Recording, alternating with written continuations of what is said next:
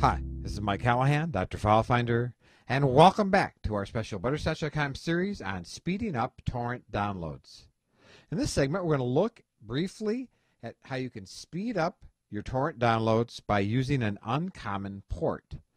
Now, if you recall, when you set up uTorrent, click here Options and Setup Guide, that it's using a certain port.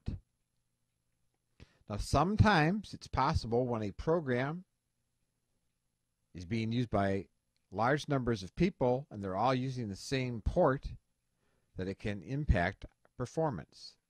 So what you can do is use an uncommon port. So just to keep it simple, we'll change this to 20,000. Now if you log into your router and go to port forwarding,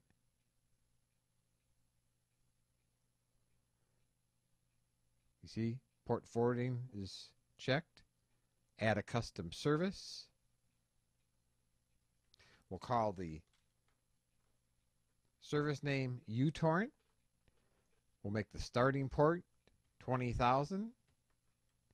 We'll make the ending point 20,000. And the server IP address is the IP address of your computer, which you can get opening a command window,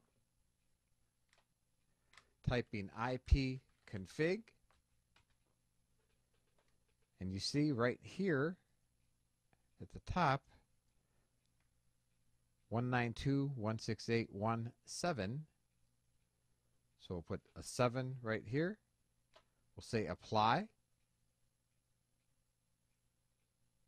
And the service has been configured.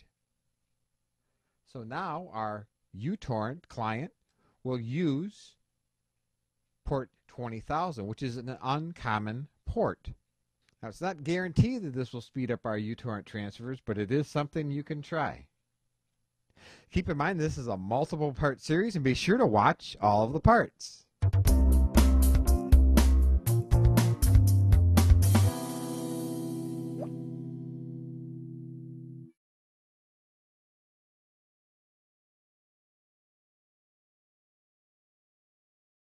Hey, this is Doc. If you're looking for a cheap and easy way to put your own content on the web, go get domain names from hover.com.